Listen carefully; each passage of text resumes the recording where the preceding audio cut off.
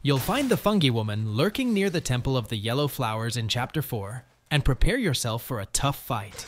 Her unique skills make her a challenging opponent. Armed with a poisonous staff, she can deliver powerful blows and spin rapidly, creating a dangerous vortex that can hurl you across the battlefield if you're caught in it. Fortunately, she becomes dizzy after this attack giving you a prime opportunity to strike back. However, she also has a spore attack that spreads across the arena, targeting you and healing her in the process.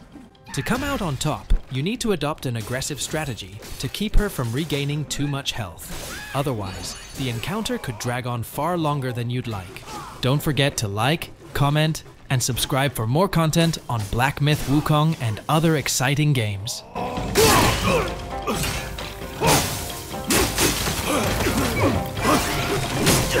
What?